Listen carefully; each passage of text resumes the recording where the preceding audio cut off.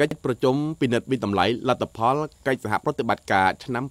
2023និងចុះហត្ថលេខាលើកំណត់ហេតុស្តីពីកិច្ចសហប្រតិបត្តិការឆ្នាំ2024រវាងក្រសួងមហាផ្ទៃនៃព្រះរាជាណាចក្រកម្ពុជា និងក្រសួងសន្តិសុខសាធារណៈនៃសាធារណរដ្ឋប្រជាធិបតេយ្យប្រជាមានិតឡាវត្រូវបានរៀបចំឡើងនៅព្រះរាជាណាចក្រកម្ពុជានារសៀលថ្ងៃទី14ខែមីនាឆ្នាំ2024នៅទីស្តីការក្រសួងមហាផ្ទៃ ដំណើរអញ្ជើញមកដល់ទីស្តីការក្រសួងមហាផ្ទៃរបស់អាយដាមនាយដាមសនីវិល័យឡាខំហ្វងឧបនាយករដ្ឋមន្ត្រីរដ្ឋមន្ត្រីក្រសួងសន្តិសុខសាធារណៈនៃសាធារណរដ្ឋប្រជាធិបតេយ្យប្រជាមានិតឡាវត្រូវបានទទួលស្វាគមន៍ដោយអាយដាមអភិសន្តិបណ្ឌិតសសុខាឧបនាយករដ្ឋមន្ត្រីរដ្ឋមន្ត្រីក្រសួងមហាផ្ទៃអមដោយកងកិត្តិយសនៃអគ្គស្នងការដ្ឋាននគរបាលជាតិកិច្ចប្រជុំបានចាប់ផ្ដើមពីជំនួបចង្អៀតដោយភាគីកម្ពុជា មានការអញ្ជើញចូលរួមពីឯកឧត្តមឡាំជារដ្ឋមន្ត្រីទទួលបន្ទុករដ្ឋលេខាធិការដ្ឋានកិច្ចការព្រំដែនឯកឧត្តមរដ្ឋលេខាធិការប្រចាំការក្រសួងមហាផ្ទៃ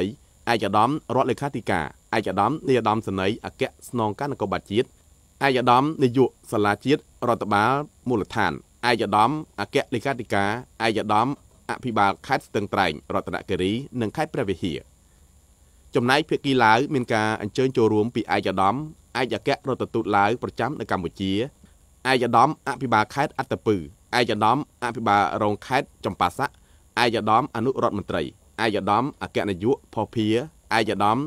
នាយកគណៈកាល័យក្រសួងឯកឧត្តមអគ្គនាយកនយោបាយឯកឧត្តមអគ្គនាយកសន្តិសុខនិងឯកឧត្តមអគ្គស្នងការនគរបាលនៃក្រសួងសន្តិសុខសាធារណៈឡាយក្រោយពីបញ្ចប់កិច្ចជំនួយចង្អៀតឯកឧត្តមអភិសន្តិបណ្ឌិតសសុខា ឧបនាយករដ្ឋមន្ត្រីនិងឯកឧត្តមនាយឧត្តមសេនីយ៍វិល័យឡាខំហ្វងឧបនាយករដ្ឋមន្ត្រីបានបន្តអញ្ជើញដឹកនាំកិច្ចប្រជុំពេញអង្គដើម្បីពិនិត្យវិតម្លៃលទ្ធផលកិច្ចសហប្រតិបត្តិការឆ្នាំ2023ដោយមានការអញ្ជើញចូលរួមពីឯកឧត្តមលោកជំទាវជាថ្នាក់ដឹកនាំមួយចំនួនទៀតនៃក្រសួងទាំងពីរនេះឱកាសនោះឯកឧត្តមអភិសន្តិបណ្ឌិតសសុខាបានគូបញ្ជាក់ទៅកាន់សមាភិកីឡាវអំពីសភាពការសកលលោក និងសភាពការទូទៅនៅកម្ពុជា ដែលរួមមានស្ថានភាពសេដ្ឋកិច្ចសភាពការនយោបាយសភាពការសន្តិសុខការប្រយុទ្ធប្រឆាំងគ្រឿងញៀនខុសច្បាប់ព្រមទាំងបានរំលេចបញ្ជាក់អំពីលទ្ធផលនៃកិច្ចសហប្រតិបត្តិការឆ្នាំ2023រវាងក្រសួងទាំងពីរនិងសំណុំពរមួយចំនួន សម្រាប់ឆ្នាំ2024កិច្ចប្រជុំនេះផងដែរឯកឧត្តមនាយឧត្តមសេនីយ៍វិល័យឡាខំហ្វងឧបនាយករដ្ឋមន្ត្រីរដ្ឋមន្ត្រីក្រសួងសន្តិសុខសាធារណៈឡាវ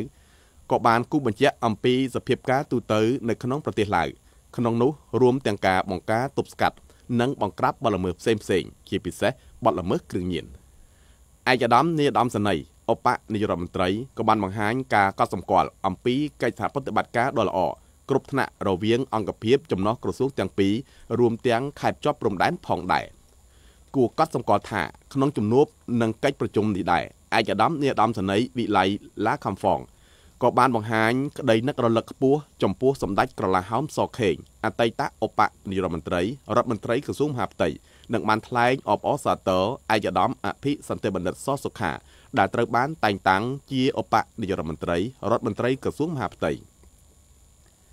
ភាគីទាំងពីរក៏បានបង្ហាញការគ្រប់គ្រងចំពោះជំនួបរវាងនាយករដ្ឋមន្ត្រី និងប្រធានរដ្ឋសភានៃប្រទេសទាំងពីរកាលពីពេលថ្មីៗនេះផងដែរ។ កិច្ចប្រជុំបានប្រព្រឹត្តទៅក្នុងស្មារតីមិត្តភាពសាមគ្គីភាពនិងយោគយល់ខ្ពស់នៅចុងបញ្ចប់ឯកឧត្តមអភិសន្តិបណ្ឌិតសសុខាឧបនាយករដ្ឋមន្ត្រីរដ្ឋមន្ត្រីក្រសួងមហាផ្ទៃនៃព្រះរាជាណាចក្រកម្ពុជានិងឯកឧត្តមនាយឧត្តមសេនីយ៍វិល័យឡាខំហ្វងឧបនាយករដ្ឋមន្ត្រីរដ្ឋមន្ត្រីក្រសួងសន្តិសុខសាធារណៈនៃសាធារណរដ្ឋប្រជាធិបតេយ្យប្រជាមានិតឡាវបានចុះហត្ថលេខាលើកំណត់ហេតុស្ដីពីកិច្ចសហប្រតិបត្តិការឆ្នាំ2024ផងដែរ។ ក្រុមហ៊ុនហ៊ូតជាផ្គត់ផ្គង់សម្ភារៈសំណង់ទូទាំង25ខេត្តក្រុង